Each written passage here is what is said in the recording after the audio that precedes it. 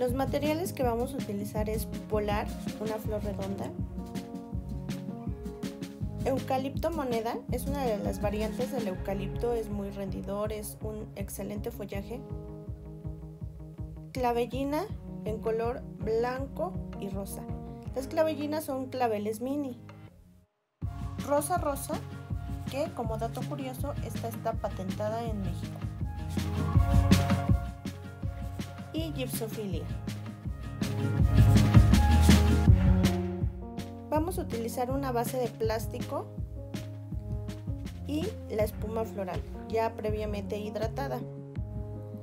Utilizaremos nuestra cinta waterproof, que es una cinta especial para floristas, ya que se adhiere perfectamente a nuestra espuma floral.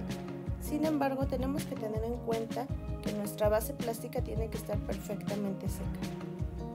Uniremos en varios puntos, al centro, a los costados, de la manera que nosotros consideremos no se nos vaya a mover nuestro arreglo.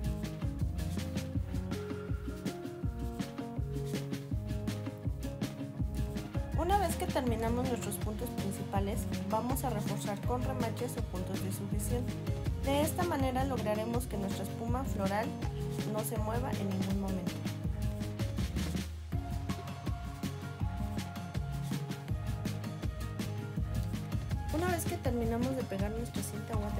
Ahora sí viene la magia. Lo movemos, lo metemos acá abajo y comprobamos que está listo para comenzar nuestro arreglo. Comenzaremos con nuestro follaje que colocaremos en la parte baja de nuestra espuma floral y daremos diferentes alturas hasta llegar al centro.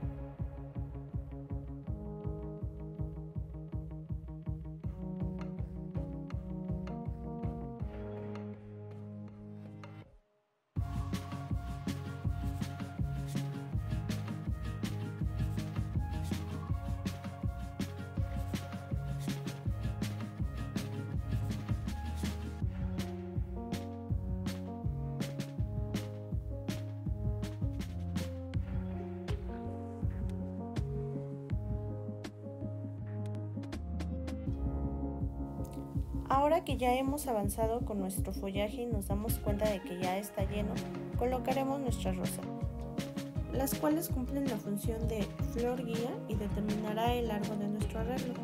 Comenzaremos en los costados y posteriormente iremos rellenando al centro.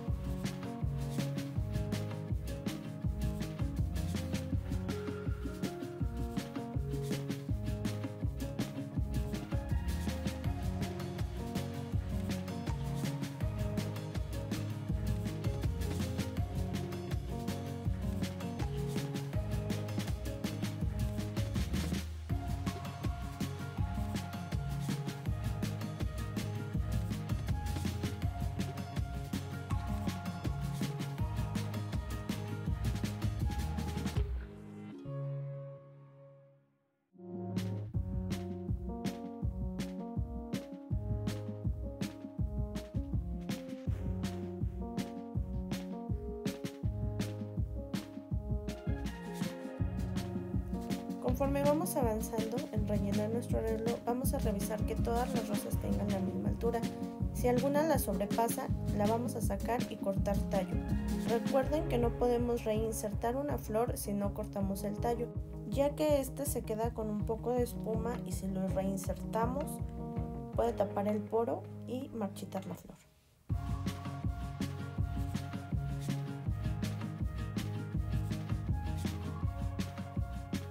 Ahora colocaremos nuestro polar. Esta flor es un poco más grande, igual de forma redonda, por lo cual la vamos a colocar un poco más abajo de la rosa. Recuerden que nuestra flor principal y más cara es la rosa, por lo cual esta tiene que llevarse el protagonismo.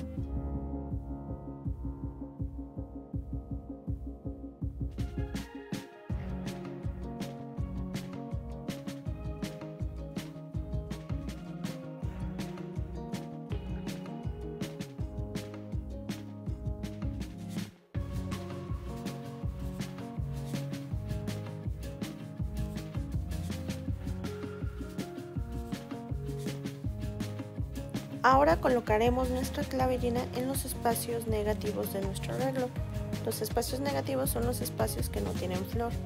Trataremos de no excedernos ya que la clavellina es solamente nuestra flor de acompañamiento.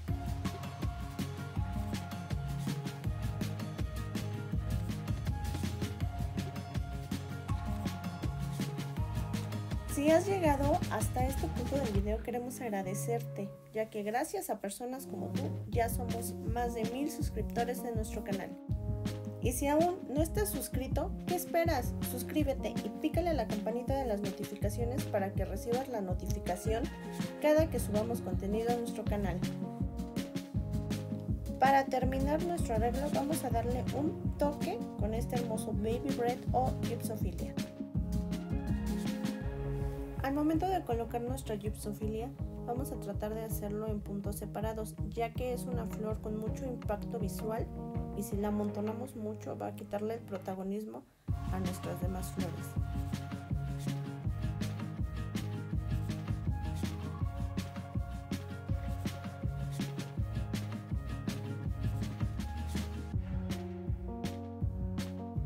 Recuerda compartir este video en todas tus redes sociales, ya que de esta manera nos motivas a seguir haciendo más contenido para ti.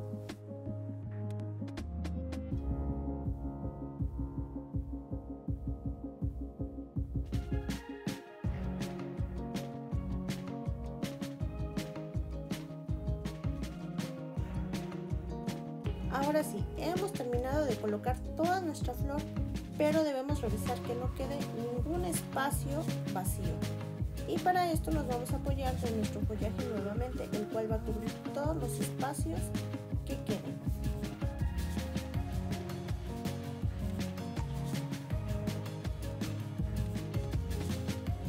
Y ahora sí amigos, hemos terminado nuestro arreglo. Un arreglo de 360 grados, lo que quiere decir que tiene la misma flor en la parte de enfrente que en la parte de atrás. Quedó de un muy buen tamaño. Nuestra flor está perfectamente distribuida e integrada. Y bueno amigos, esto es todo por el video de hoy. Recuerden suscribirse a nuestro canal, picarle a la campanita para que reciban las notificaciones